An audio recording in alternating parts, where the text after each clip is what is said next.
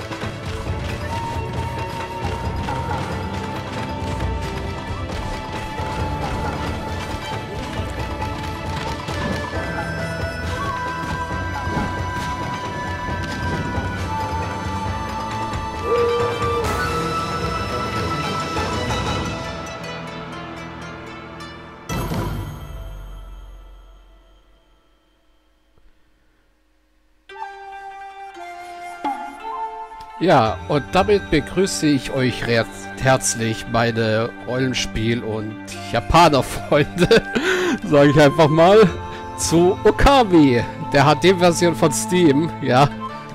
Da, bin ich schon, da freue ich mich schon richtig drüber. Äh, ja.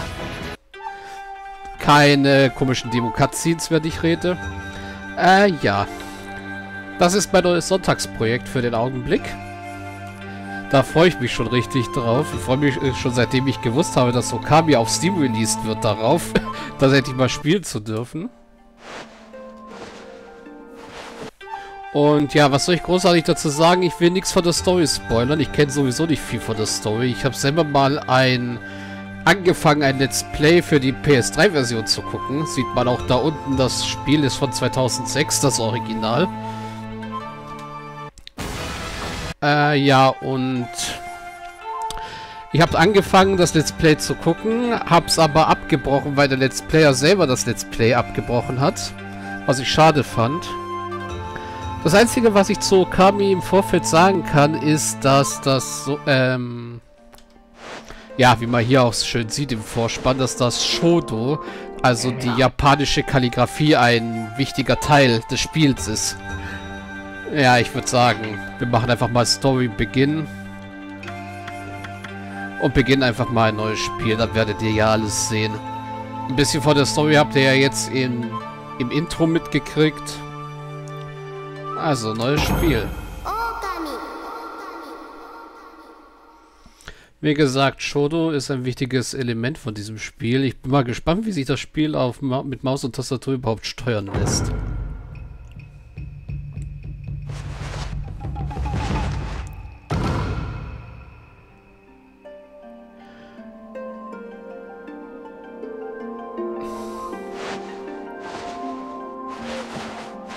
Okay, schauen wir uns die Story halt nochmal an.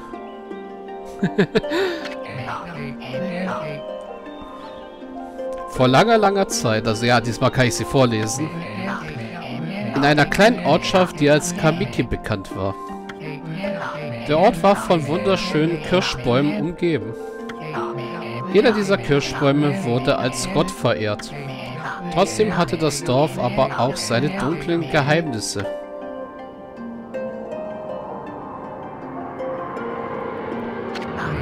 Um den Appetit von Orochi, einem gefürchteten Lindwurm... Ah ja, okay, das ist jetzt die ausführliche Story. Stimmt. Zu, bef befriedigen, wurde ihm jedes Jahr eine Jungfrau geopfert. Mit einem Körper wie ein Berg und acht Köpfen auf Felsen mit der Größe von drei Baumstämmen. Seine blutroten Augen sollen die Macht gehabt haben, jeden zu verfluchen, der sie erblickt. Niemand wagte der schrecklichen Bestie nicht zu gehorchen.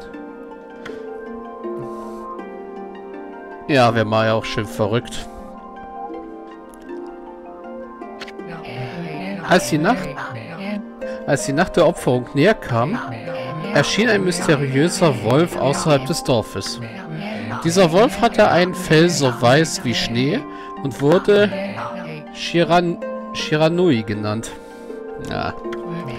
Die Wölfin hielt, eine, hielt ein wachsames Auge auf jeden, der die Stadt verließ und patrouillierte regelmäßig nachts auf den Straßen. Die Leute glaubten, sie wäre eine Vertraute von Orochi.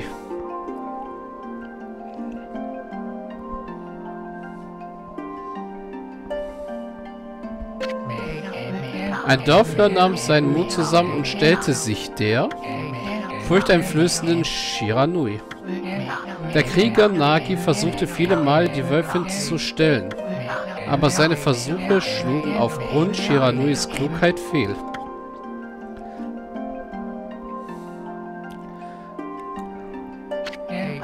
Lange bevor die Nacht des verfluchten Festes bevorstand, kündigte ein weiß gefiederter Pfeil das zu bringende Opfer an. Den Himmel überquerend versenkte der Pfeil seine Spitze im Dach des Hauses von Nami, dem schönsten Mädchen des Dorfes. Nagi, der Nami heimlich liebte, war erzürnt über das Zeichen. Entschlossen, Orochis Treiben ein Ende zu setzen, ging Nagi anstelle seiner geliebten Nami in die Höhle der Bestie.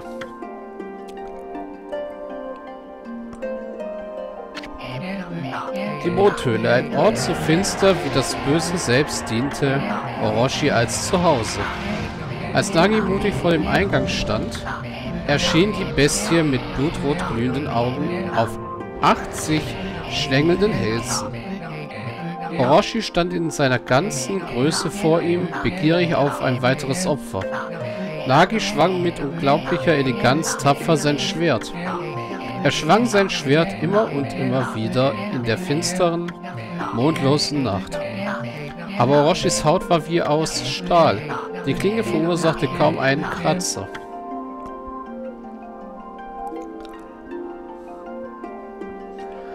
Das ganze Spiel beruht übrigens auf einer japanischen Volksmythe. Das heißt Volksmythe auch ein bisschen auf japanischem Glauben, aber das sehen wir nachher, wenn es soweit ist. Nach einem langen, harten Kampf war Naki schließlich am Ende seiner Kräfte und fiel auf seine Knie wie ein Sack voll Reis. Er wusste, dass er dem Tod ins Auge blickte. In diesem Augenblick erschien die Wölfin. Als ob sie Nagi beschützen wollte, stand sie Orochi gegenüber. In der Finsternis der Höhle leuchtete der Pelz der Wölfin. Es war Shiranui, die Wölfin, die in der Nähe des Dorfes lebte. Zähnefletschend ging sie auf Orochi los. Orochi drehte seine schrecklichen Köpfe und entblößte seine Fänge. Die beiden Bestien kämpften wild entschlossen in der Finsternis. Achtköpfiger Drache gegen Wolf. Ist ja klar, dass der Wolf gewinnt. Erschreckend und mysteriös ging das Spektakel weiter. Shiranui beschwor heilige Winde, um Orochis Flammen zu kontern.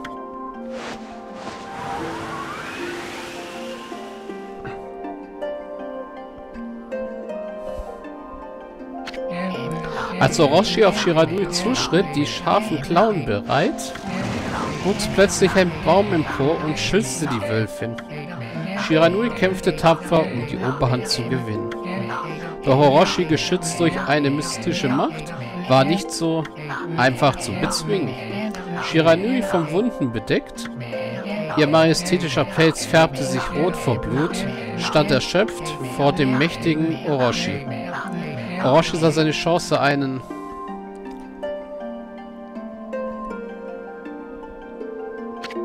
Angriff zu starten, der die Entscheidung bringen würde. Aber Shiranui weigerte sich, so einfach aufzugeben. Mit ihrem letzten Rest an Stärke blickte die Wölfin in den Himmel und entfesselte ein mächtiges Geheul. Plötzlich verschwanden die dunklen Wolken vom Himmel.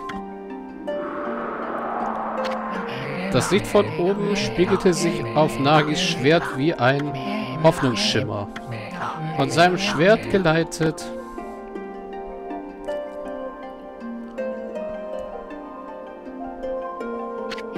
stand Nagi, der sich in den Schatten versteckt hatte, voller Stolz im Angesicht seines Widersachers.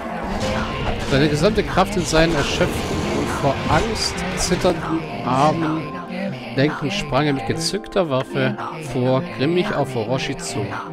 Das goldene Schwert tanzte in seinen Händen, als wäre es ein eigenes Wesen. Ein schrecklicher Kopf nach dem anderen wurde seinem Besitzer abgeschlagen. Orochi geschlag Orochis geschlagener Körper brach.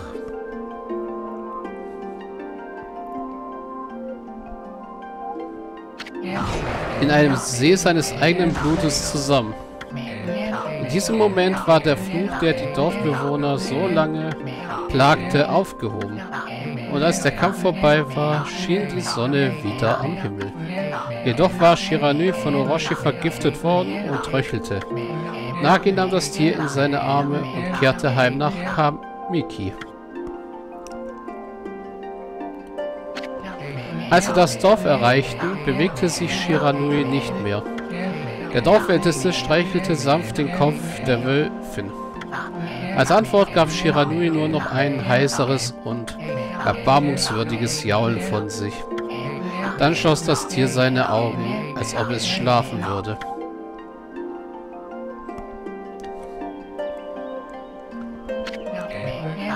Der Frieden war endlich wieder in das Dorf Kamiki eingekehrt. In Erinnerung an Shiranuis heroische Tat errichteten die Dorfbewohner einen Schrein mit einer Statue der Wölfin darin. Nagis Schwert wurde Tsukuyomi getauft und in die Mondhöhle gegeben. Die Dorfbewohner sahen einer friedlichen Zukunft entgegen. Wie auch immer, das ist noch nicht das Ende der Geschichte. Wäre auch komisch, weil das Spiel noch nicht mal angefangen hat. Da ist mehr an der Geschichte, als die meisten Leute wissen. 100 Jahre sind vergangen, seit Nagis und Shiranuis Heldentaten. Es passierte alles so schnell, dass niemand im Dorf auch nur irgendwas davon bemerkte. Ist ja klar, nur Orochi kehrt zurück.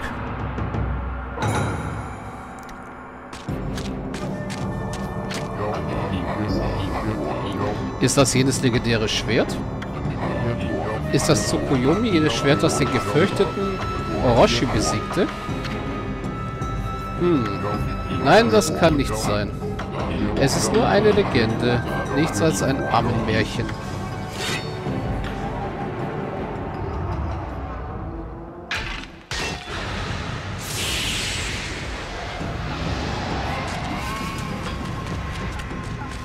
Klar, irgendein Troll, Tölpel befreit Orochi.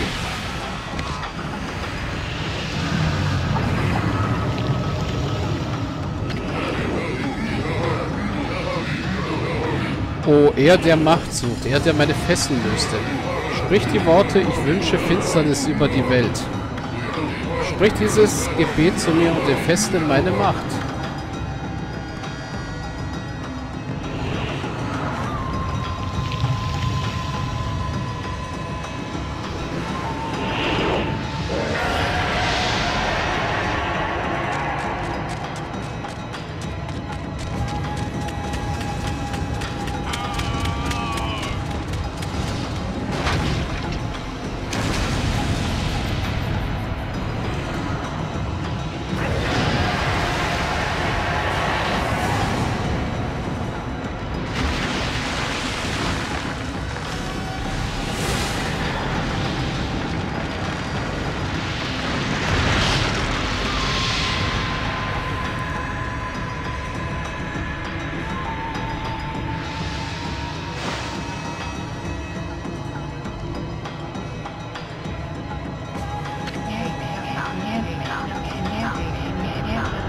Eine schreckliche Tragödie kam plötzlich über das Land.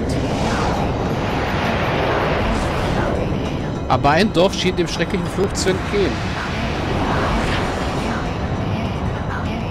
Die kleine Siedlung von Kamiki genoss den Schutz eines heiligen Baumes. Hier beginnt die richtige Geschichte.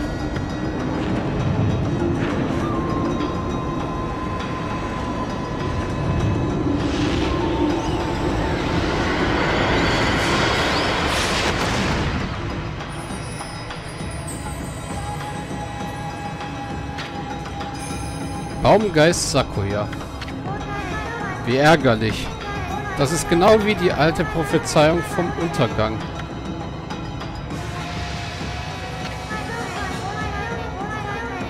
Was hat nur all dieses Unheil verursacht? Wir müssen schnell handeln. Wir haben keine Zeit mehr zu verlieren. Meine Kraft hat über die Jahre, in denen ich dieses Gebiet beschützte, nachgelassen. Mir verbleibt nicht mehr viel Zeit in dieser Welt.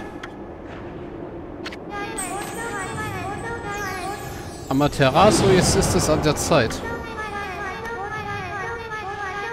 Wir haben deine Kraft niemals dringender gebraucht. Lasse dein göttliches Licht auf diese besudelte und unreine Welt erstrahlen. Lass deine himmlischen Strahlen unser aller Hoffnung werden, während du uns leitest.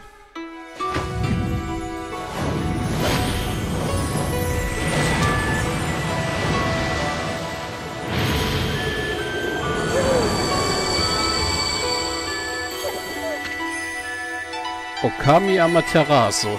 Ja, Amaterasu ist im Japanischen die Göttin der Sonne eigentlich. Ah, dieses göttliche weiße Licht, solch Schönheit und Reinheit. Das einzige Wesen, das zu einem solchen wundersamen Spektakel fähig ist, ist niemand anderes als unsere aller Mutter und der Ursprung von allem Guten, unsere Amaterasu. Wie wunderbar zu sehen, dass der Retter dessen... Wie wunderbar zu sehen, dass der Retter des mutiges Opfer den bösen Dämon vor so langer Zeit verbannte, sich nicht verändert hat. Dein Erscheinen, nachdem du so viele Jahre als Statue verbracht hast, erfreut mein Herz. Schlief. Genau, erstmal pennen legen. hey, ich bin Amaterasu. Ich kann das machen. Amaterasu. Erblicke den Himmel über dir und nimm den Zustand des Himmels wahr. Seitdem du aus unserer Mitte verschwunden warst, unterlag die Welt bösartigen und verschlagenen Bestien. Sie verwüsteten unser schönes und ehrwürdiges Land Nippon. Aber noch nie zuvor waren die Umstände so schlecht. Wie genau in diesem Augenblick. Bitte setze deine Macht ein, um die Finsternis zu bannen und diejenigen zu bestrafen, die uns Böses wollen. Hm? Äh, was ist das? Hat sich da etwas in mein Kimono verirrt? Hehe. Oje. Aha.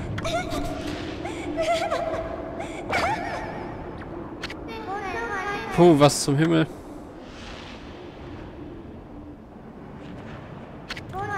Du schon wieder?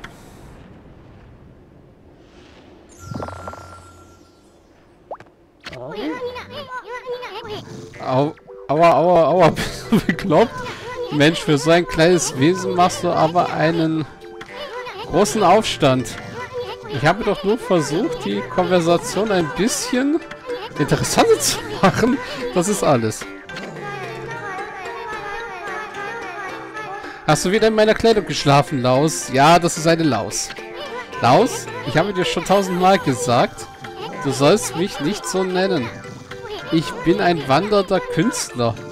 Mein Name ist Isun. Ja, wandernder Künstler Isun. Toller Künstler. Ich werde dir zeigen, wie großartig ich bin und es wird nicht mehr lange dauern, bis du dich beschämt vor mir verbeugst.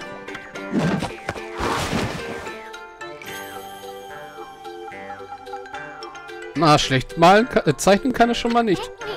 Nun, was denkst du? So sogar noch besser als das Original, nicht?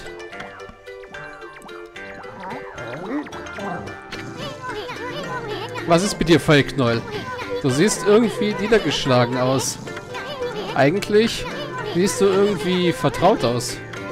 Jetzt habe ich's. Du siehst aus wie die Statue von Shiranui.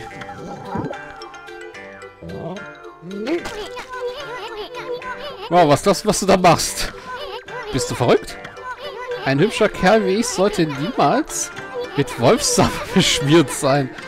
Du wirst es bereuen, dich mit dem großen Issun angelegt zu haben. Bring mich nicht dazu, mein geschätztes Schwert Denkomaho gegen dich einzusetzen.